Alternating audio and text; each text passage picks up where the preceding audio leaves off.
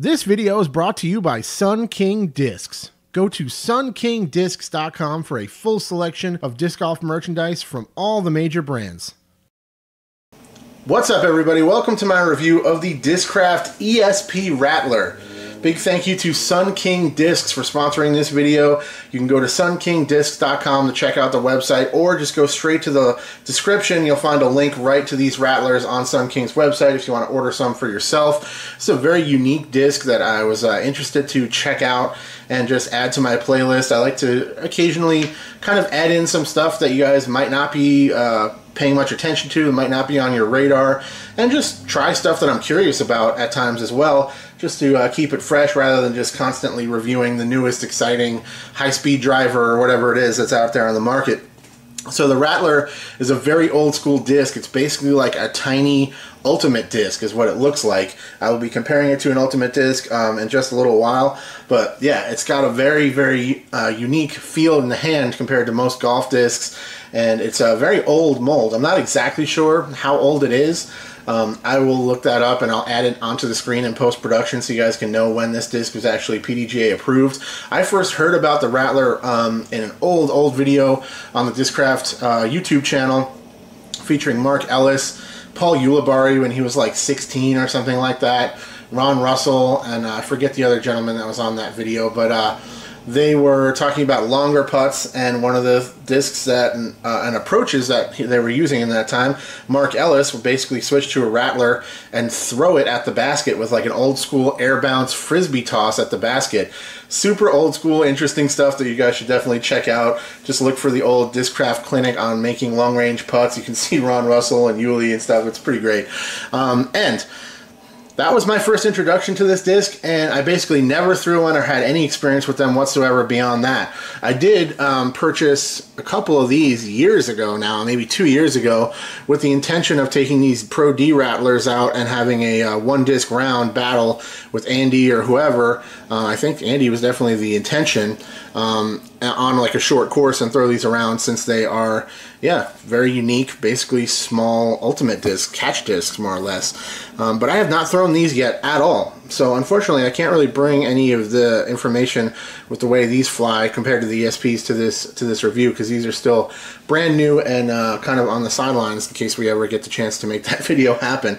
But I do have two of these laying around because of that. Uh, I did very recently review the Opto Bite, so you can check that out if you're interested. I'll put that up next to the uh, the Rattler in just a second. First of all, let's take a look at these particular ones.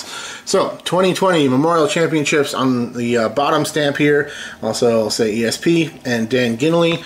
Dan, I'm really sorry. No disrespect meant. I did not do the research to find out much about this gentleman. Uh, I definitely probably should have done that.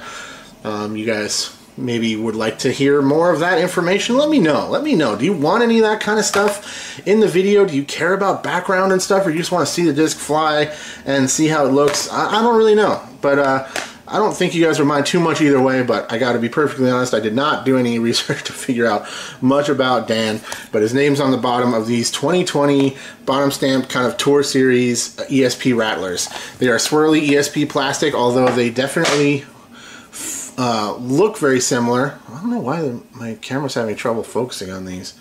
Very strange. Hopefully that'll be a little better in a second. But uh, you can see it's got the swirls going on. And it's ESP plastic technically. These feel very different. I don't know what they have to really change to get these to, to feel um, maybe they need to change the blend slightly to get them to mold up because it's such a strange little catch disc shape to it. I'm not really sure. Um, but ultimately, yeah, they, they don't feel quite as good as ESP normally does. They're a little bit more slick. They're a little stiffer. There's not much flexibility to it at all, um, which is interesting but no real problem to it. I'm sure it'll feel a little bit better over time. This newer blend of ESP in general seems to get grippier um, as you use it, so I'm sure these would break in a little bit and, uh, and get some of that. So one of the benefits of having a disc like this in this plastic is that it's a pretty understable disc to begin with, so uh, in that way you can actually get these to hold up that to that brand new off-the-shelf flight, uh, flight path for much longer than, uh, say, a Pro D one, of course, which would break in very quickly and start changing its flight pretty much straight away. So definitely an interesting feel. The the plastic isn't my favorite. I, I, actually really like the feel of the, the Pro D on that particular one. It feels grippier to me. But again, the durability difference is going to be enormous. So if you want to throw a disc like this, or maybe like a Sonic or something like that, um, a lot of people like them in the premium plastic. I also, I'm not really sure, but I know Sonics have a tendency to break. I'm not sure if the Rattler has that issue or not, but this one and this plastic shouldn't be much of a problem. So let's take a look at the design again. As you can see, just like a small Ultimate Disc catch disc shape. These are both uh, max weight, 175 or so. They are not very large diameter. Um, like if you see the bite, the bite can actually take the uh, the Rattler inside of it. And you could throw these both together, which is pretty interesting. And I've done that. You can see that in the uh, bite review. I've thrown it with other discs inside of it, and they come out and kind of split apart at some point, which is pretty fun. But uh, that's a little bit unfortunate that these are so small because they're pretty deep, as you can see. So they'll take up a pretty good chunk of space in your bag based on that. So let's put it up next to the bite real quick, just so you can see, very different. The bite has a little bit more of a golf design to it where this little indentation here, it's also got that this huge protruding um, flight plate on the top. It's got the thumb track in here as well. It's got all this textured writing. It's very different, but they don't fly super different. The bite is flippier and tougher to control, but this one's also uh, low weight. They're all like 150 or so, so that's probably part of that equation.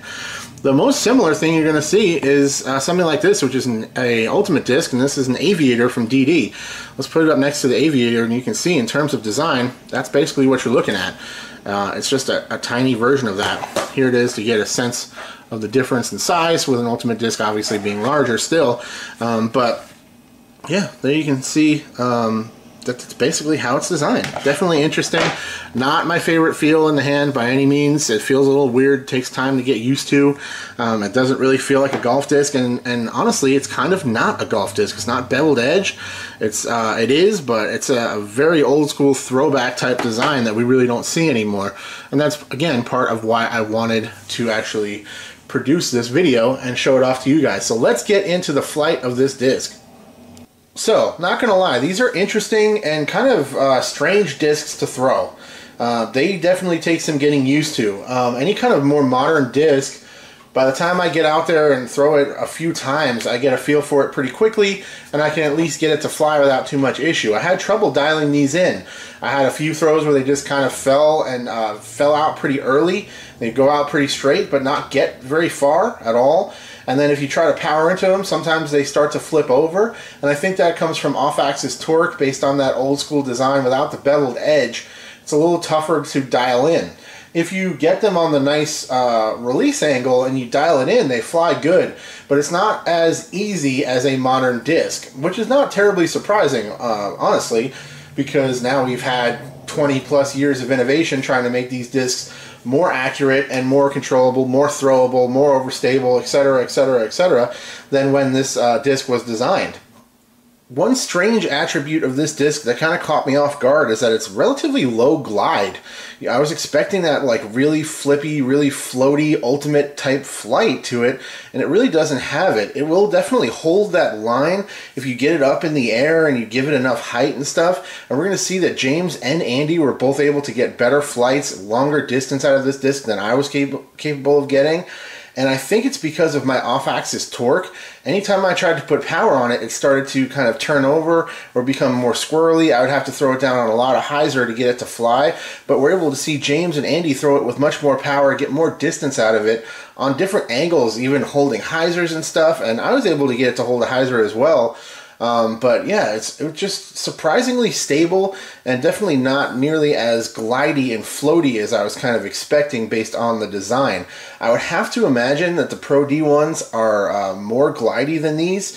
And I think maybe it's just the, the nature of this ESP blend and the density of it or the stiffness. I'm not exactly sure, but definitely caught me by surprise that it wasn't really a very floaty, flippy flight at all you can actually put some power behind it. It will hold some hyzer, and uh, yeah, definitely interesting. I found them to be most effective for, by far, is actually putting inside the circle.